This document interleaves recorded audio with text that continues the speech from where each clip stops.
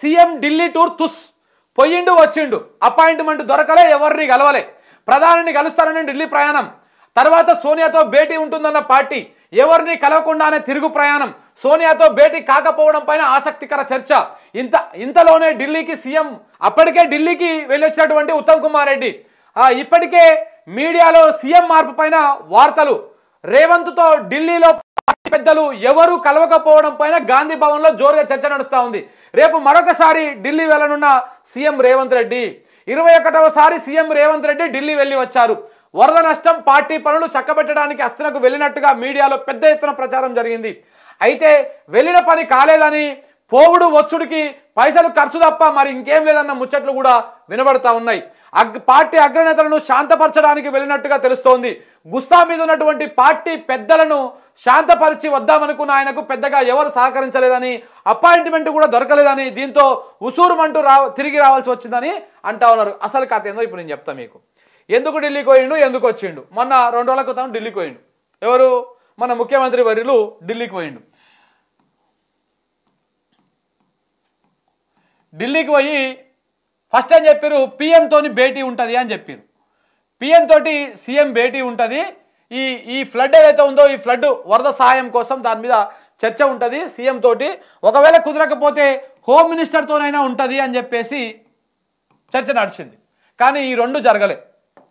ఈ రెండు జరగలే. ఈ రెండు జరగలే. పో ఈ- ఇది జరగకపోతే జరగకపోయి ఎందుకంటే ఇది బీజేపీ పార్టీకి సంబంధించినటువంటి వ్యవహారం ఈయన కాంగ్రెస్ పార్టీ అనే కాబట్టి సరే అపాయింట్మెంట్ దొరకలేదు. ఏదో ఏదో జరిగి ఉంటుంది. కానీ వాస్తవానికి ఏంటంటే అపాయింట్మెంట్ ఫిక్స్ అయితేనే ఢిల్లీ ఫ్లైట్ ఎక్కుతారు ఎవడైనా నుంచి. మరి ఎందుకు ఆగమేఘాల మీద ఉరుకులాడుతూ ఉన్నాడు? ఎందుకు సైలెంట్ అయిపోతా ఉన్నాడు? దేనికోసము అన్ని మూసుకొని కొన్ని కొన్ని పనులు చక్కబెట్టుకునే ప్రయత్నం చేస్తా ఉన్నాడు అనేది ఇప్పుడు చర్చనీయాంశంగా మారింది. ఆ తర్వాత ఏమన్నారు? సోనియా గాంధీతోటి రాహుల్ గాంధీ లేడు కాబట్టి సోనియా గాంధీతోటి భేటీ ఉంటుంది అని చెప్పేసి చర్చ నడిచింది. సోనియా తోటి భేటీ ఉంటుంది. నాలుగు రాష్ట్రాల ఎన్నికలు కావచ్చు ఇక్కడ పీసీసీ వ్యవహారం కావచ్చు పీసీసీ మిగిలిన పదవులు ఏదైతే ఆల్రెడీ పీసీసీ పదవి ఈయన చెప్పినటువంటి వ్యక్తికే ఒక డమ్మీ క్యాండిడేట్కే పీసీసీ ఇచ్చిర్రు. సో కానీ నెక్స్ట్ వర్కింగ్ ప్రెసిడెంట్లు కానీ మిగతా కార్యవర్గం మొత్తం ఉంటుంది. దానికి సంబంధించినటువంటి పదవుల మీద క్లారిటీ. దాంతోపాటు మంత్రివర్గంలో ఇప్పుడు మంత్రివర్గ విస్తరణ ఉంది. రాష్ట్రంలో కాంగ్రెస్ పార్టీ అధికారంలోకి వచ్చి పది నెలలు అవుతున్నా ఇప్పటిదాకా రాష్ట్రానికి హోంమంత్రి లేడు విద్యాశాఖ మంత్రి లేడు మున్సిపల్ శాఖ మంత్రి లేడు సో ఇట్లా కొన్ని కీలక శాఖలకు మంత్రి లేడు. ఆ శాఖలన్నీ ముఖ్యమంత్రి దగ్గరనే ఉన్నాయి. సో కాబట్టి దీని మీద ఒక చర్చ తీసుకుందాం అని చెప్పేసి ఢిల్లీకి సోనియా గాంధీని కలుస్తాడు కావచ్చు దీని మీద అని చెప్పేసి అందరు అనుకున్నారు. కానీ సోనియా గాంధీ కూడా అపాయింట్మెంట్ ఇవ్వలే కలవలే. ఆమె కూడా కలవలేదు. నో అపాయింట్మెంట్ అసలు చెప్పినటువంటి చర్చ ఇది బయటికి. కానీ అసలు కథ ఏంది వెనకంగా జరిగినటువంటి వ్యవహారం ఏందయ్యా అంటే ఈ హైడ్రా పేరుతోటి ఈ హైడ్రా పేరుతోటి ఎమ్మెల్యేల పార్టీ ఫిరాయింపుల వ్యవహారంతో కాంగ్రెస్ పార్టీ ఇజ్జతి బర్బాజ్ అయింది మొత్తం దేశవ్యాప్తంగా. బర్బాజ్ అయిపోయింది. ఎందుకంటే ఈ హైడ్రా వ్యవహారం ఏమో బీజేపీ తరహా రాజకీయం ఇది. ఇది ఇది కాంగ్రెస్ తరహా రాజకీయం కాదు బీజేపీ తరహా రాజకీయం. ఆల్రెడీ యూపీలో యోగి ఆదిత్యనాథ్ ఇదే హైడ్రాలను ప్రతిపక్ష పార్టీ నాయకుల ఇంటి మీదకి నేరస్తుల ఇంటి మీదకి కోర్టులు తేల్చాల్సినటువంటి వ్యవహారాన్ని ఈయననే ముఖ్యమంత్రిగా ఉండి వాళ్ళ ఇండ్ల మీదకి పంపించి ఆ ఇండ్లను కూలగొట్టేటువంటి కార్యక్రమాలు చేస్తా ఉన్నాడు ఆయన. బీజేపీ తరహా బుల్డోజర్ రాజకీయం అంటాం దీన్ని మనం. సో ఈ బుల్డోజర్ రాజకీయము బీజేపీది కానీ ఇక్కడ కాంగ్రెస్ ఎమ్మె- మంత్రిగా ముఖ్య ముఖ్యమంత్రి కాంగ్రెస్ ప్రభుత్వం ఇక్కడ ఆ పని చేస్తా ఉంది. దాని మీద ఇప్పటికే గుర్రుగా ఉన్నారు. పల్లం రాజు కావచ్చు కేవీపీ కావచ్చు చాలామంది సోనియా దగ్గరికి వెళ్ళి కంప్లైంట్ చేశారు ఈ హైడ్రా ఏంది కథ ఏంది పిచ్చోడు ఉన్నాడు ఆ వీడు? ఎందుకు ఇట్లా చేస్తా ఉన్నాడు? మొత్తం ఆగం ఆగం అవుతా ఉంది హైదరాబాద్ ఆగం అవుతా ఉంది. అందరి లోపల ఒక భయాందోళన ఉంది. హైడ్రా తెచ్చి ఆగమాగం చేస్తూ ఉన్నాడు. మొత్తం అసలు కాంగ్రెస్ పార్టీకి ఫ్యూచర్లో పుట్టగతులు ఉండేటువంటి అవకాశం లేదు. ఇప్పటికే హైదరాబాద్లో కాంగ్రెస్ పార్టీని మొత్తం బొందబెట్టేసారు ప్రజలు. ఇంకా కూడా మొత్తానికే సర్వనాశనం చేసేస్తారు తప్ప దానికి మించి ఇంకొకటి ఉండదు. రేవంత్ రెడ్డి చిల్లర వ్యవహారం వల్ల ఇట్లా ఉంది అని చెప్పేసి వీళ్ళందరూ పల్లం రాజు కాంగ్రెస్ పార్టీ అధిష్టానానికి దగ్గరగా ఉన్నటువంటి నాయకులు అందరూ కలిసిపోయి ఆడ కంప్లైంట్లు కూడా చేశారు. ఆ కంప్లైంట్ చేయడంతో అప్పటికే సోనియా గాంధీ కానీ రాహుల్ గాంధీ కానీ వీళ్ళందరూ చాలా సీరియస్గా ఉన్నారు. ఎవరి మీద? రేవంత్ రేవంత్ రెడ్డి మీద. అందుకే ఇప్పటిదాకా ఇన్నిసార్లు పోయినా కానీ అప్పుడెప్పుడో నాలుగైదు నెలల క్రితం అపాయింట్మెంట్ ఇచ్చారు ఇప్పటిదాకా సోనియా గాంధీని కలవలే. ఇప్పటిదాకా సోనియా గాంధీని కలవలే రాహుల్ గాంధీని కలవలే అపాయింట్మెంట్ ఇస్తలేరు వాళ్ళు. ఒక నాలుగైదు సార్లు ఇప్పటికి హైదరాబాదు హైదరాబాద్ తెలంగాణకు రావాలి మీరు. తెలంగాణకు వచ్చి మీరు ఇడ ఈ- ఈ- కార్యక్రమం ఓపెనింగ్ కార్యక్రమాలు వీటికి వీటికి రావాలంటే వాళ్ళు అసలు దేకని కూడా దేకలేదు నాలుగు సార్లు రాహుల్ గాంధీ పర్యటన క్యాన్సిల్ అయింది తెలంగాణకి. అసలు అసలు వస్తలేడు. ఎందుకు వస్తలేడు అంటే ఈయన వ్యవహారం నచ్చక. ఇదొకటి. దీంతో పాటు ఎమ్మెల్యేల వ్యవహారం కూడా ఒకటి ఉంది. ఈ ఎమ్మెల్యేల వ్యవహారం కూడా సేమ్ ఇంతే. ఎమ్మెల్యేల వ్యవహారం కూడా అంతే. ఎమ్మెల్యేల వ్యవహారం ఏంటంటే ఈ ఈ పది మంది ఎమ్మెల్యేలను తీసుకొచ్చిండు. బేసిక్గా కేసీ వేణుగోపాల్. కేసీ వేణుగోపాల్ ఇలా ఎమ్మెల్యేలను చేర్చుకోవడానికి అనుమ అనుమతి ఇచ్చిండు కేసీ ఏ- ఏమని అనుమతి కేసీ వేణుగోపాలు. కేసీ వేణుగోపాల్ ఏమని అనుమతి అంటే రేవంత్ రెడ్డి పోయి ఏం చెప్పిండయ్యా అంటే అయ్యా నేను పార్టీ ఫిరాయింపులను ప్రోత్సహిస్తలేను. పార్టీ అవతల పార్టీ ఎల్పిని మొత్తానికి విలీనం చేస్తాను నేను. నా దగ్గర ఒక ప్లాన్ ఉంది. నా గురువు శిష్యుడు నా గురువు రేవంత్ మన చంద్రబాబు నాయుడు సంబంధించినటువంటి వ్యక్తులు కొంతమంది ఎమ్మెల్యేలుగా ఉన్నారు బీఆర్ఎస్ పార్టీలో. వాళ్ళని తీసుకొస్తా. మొత్తం ఇరవై ఆరు మందిని ఎత్తుకొచ్చి ఎల్పీనే విలీనం చేస్తా. ఇరవై ఆరు మందిని ఎత్తుకొచ్చి ఎల్పీనే విలీనం చేస్తా అని చెప్పేసి కేసీ వేణుగోపాల్ దగ్గర పర్మిషన్ తీసుకున్నాడు. ఎవరు? రేవంత్ రెడ్డి గారు. తీసుకొని ఈ ఇరవై ఆరు మంది తీసుకొస్తానందుకు సరే పార్టీ ఇది మంచిగానే ఉంది కదా కార్యక్రమం అని చెప్పేసి ఇరవై ఆరు మందిని తీసుకోవడానికి నాకు పర్మిషన్ ఇచ్చిండు. పర్మిషన్ ఇస్తే రేవంత్ రెడ్డి ఏం చేసాడు? వచ్చినోని వచ్చినట్టే వచ్చినోని వచ్చినట్టు వచ్చినోని వచ్చినట్టే మధ్యరాత్రి పూట ఆ నెలలకు పోయి కమడవాళ్ళకి అప్పుడు ఇట్లాంటి కార్యక్రమాలు పది మంది ఎమ్మెల్యేలని కండువాలు కప్పేసి తీసుకొచ్చిండు. బేసిక్గా పార్టీ విలీనం చేయాలనుకుంటే బీఆర్ఎస్ బీఆర్ఎస్ ఎల్పీని విలీనం చేయాలనుకుంటే ఎవరికి కండువాలు కప్పొద్దు. కండువాలు కప్పి పార్టీలకు ఆహ్వానం చేయొద్దు. ఎక్కడ ఏ ప్లాట్ఫామ్లో కూడా కాంగ్రెస్ పార్టీలో చేరిండు చేసిండు అని చెప్పేసి చెప్పవద్దు.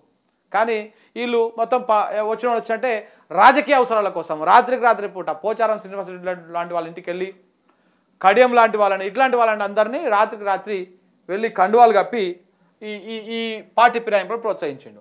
ఈయన తీసుకున్నదేమో ఇరవై ఆరు మందిని ఒకటిసారి తీసుకొచ్చి బీఆర్ఎస్ ఎల్పీని బీఆర్ఎస్ ఎల్పీని విలీనం చేస్తా అని చెప్పేసి కార్యక్రమం కోసం పర్మిషన్ తీసుకున్నాడు పార్టీ దగ్గర. ఆ కేసీ వేణుగోపాల్ ఏం చేసిండు? రాహుల్ గాంధీకి సోనియా గాంధీకి చెప్పి ఇంకో గిట్ల గిట్ల ఉంది కథ. మనోడు చాలా తోఫు తురుము. రేవంత్ రెడ్డి ముఖం చూస్తేనే ఇరవై ఆరు మంది వచ్చేస్తారు వాళ్ళకి వెళ్ళి అని చెప్పేసి ఒక ప- అది తీసుకొని చేస్తే ఈయన ఏం చేసిండు? పది మందిని వచ్చిన వచ్చినట్టే వచ్చిన వచ్చినట్టే వచ్చిన వచ్చినట్టే కండువాలు కప్పి తీసుకున్నాడు. అది కాస్త వీళ్ళు బీఆర్ఎస్ పార్టీ చిన్న పార్టీ వీళ్ళు పోయి కోర్టులో కేసు వేసారు ఇప్పుడు ముగ్గురు మంది మీ ముగ్గురు మీద ఒకటేంది? దానం మీద. ఇంకొకటి మన స్టేషన్ కన్పూరు కడియం మీద ఇంకొకటి ఆ తెల్లం వెంకట్రావు మీద. ఈ ముగ్గురు మీద వేటు పడేటువంటి అవకాశం కనపడతా ఉంది. ఇక్కడ బైలక్షన్ మస్ట్గా వచ్చేటువంటి అవకాశాలు కనపడతా ఉన్నాయి. ఈ బైలక్షన్స్ కనుక వస్తే ఇప్పుడు కాంగ్రెస్ పార్టీ ఇజ్జత్ మొత్తం పోతుంది.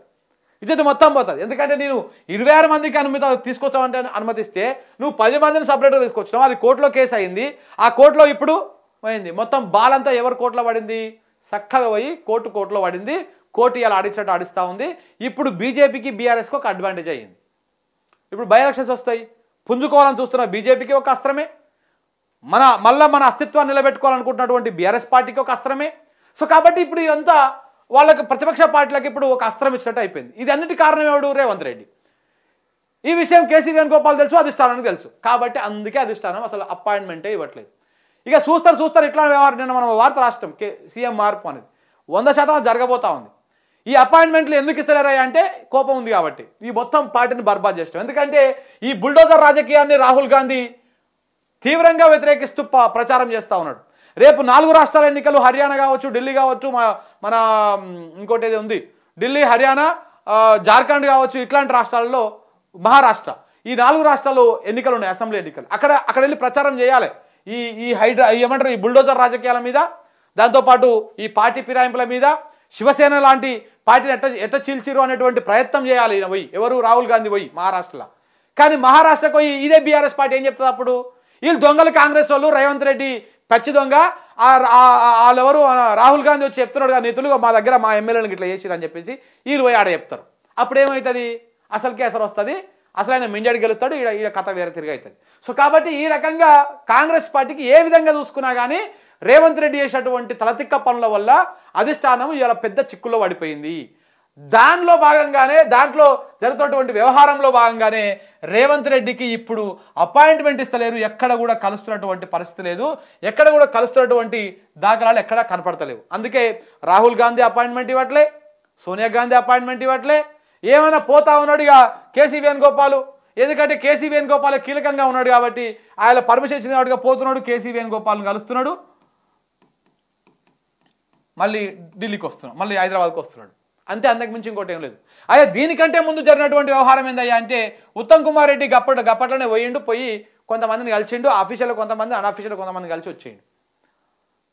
ఆయన మరి ఆయన సోనియా గాంధీని కూడా కలిసినట్టు ఇంటర్నల్గా తెలుస్తూ ఉంది బయటకు ఫోటోలు గిటోలు రావట్లే అంటున్నారు పార్టీలో. మరి ఏం జరగబోతుంది అనేది చర్చ నడుస్తూ ఉంది. సో కాబట్టి రెండు వందల శాతము రేవంత్ రెడ్డి చేస్తున్నటువంటి తీసుకున్నటువంటి గుత్తలు ఆయనే పడబోతా ఉన్నాడు. ఈ హైడ్రా డ్రామాలు కావచ్చు లేకపోతే ఎమ్మెల్యేల ఫిరాయింపు కావచ్చు ఈ వసూల వ్యవహారం కావచ్చు ఇవన్నీ కావచ్చు. మధ్యప్ర మహారాష్ట్ర ఎన్నికల కోసము మహారాష్ట్ర ఎన్నికల కోసము ప్రధానంగా డిమా ఆధారపడ్డది ఈ ఈ కాంగ్రెస్ పార్టీ రేవంత్ రెడ్డి మీద తెలంగాణ రాష్ట్రం మీద. ఎందుకంటే మహారాష్ట్ర పెద్ద రాష్ట్రము అక్కడ ఎన్నికలు జరుగుతూ ఉన్నాయి. దాని ఖర్చు మొత్తం మీరే భరించాలి మీ నుంచే రావాలని చెప్పేసి అధిష్టానం చెప్పింది. కానీ మహారాష్ట్ర నుంచి చివరికి హర్యానాకు పోయింది.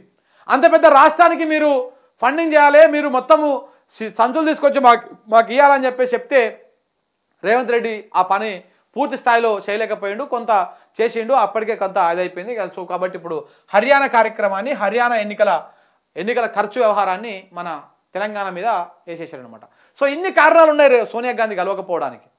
పోయిండు వచ్చిండు ఎవరిని కలవలే. పోయిన రోజు అందరినీ కూర్చోబెట్టి అందరినీ కూర్చోబెట్టి సీఎం బిల్లు ఉంటుంది ఆడ అందరినీ కూర్చోబెట్టి మంచిగా రిపోర్టర్లను కూర్చోబెట్టి ఇట్లా బొంగల అలా కావాల్సినటువంటి ఏర్పాట్లు అన్నీ చేసి ఢిల్లీలో ఆ ఒక చిట్చాట్ కార్యక్రమం పెట్టిండు. ఆ చిట్చాట్ కార్యక్రమం పెట్టుకొని వచ్చేసిండు. ఈయన ఈయన చాటుకు పోయింది ఎందుకయ్యా అంటే రిపోర్టర్లతోటి జర్ జర్నలిస్టులతోటి చిట్చాట్ చేయడానికి పోయిండు వచ్చిండు. అంతకు మించి ఢిల్లీలో రేవంత్ రెడ్డి చేసింది ఏం లేదు. రేపు పోతే కూడా ఏం జరుగుతున్నటువంటి ఆలోచన కూడా పెద్దగా ఏదో జరిగిపోతుంది ఏమో అయిపోతున్నటువంటి చర్చ కూడా లేదు. ప్రియాంక గాంధీ కూడా అపాయింట్మెంట్ ఇస్తలేదు చివరికి. చివరికి ప్రియాంక గాంధీ కూడా రేవంత్ రెడ్డి గారికి అపాయింట్మెంట్ ఇవ్వడం లేదు. ఇది వాస్తవం.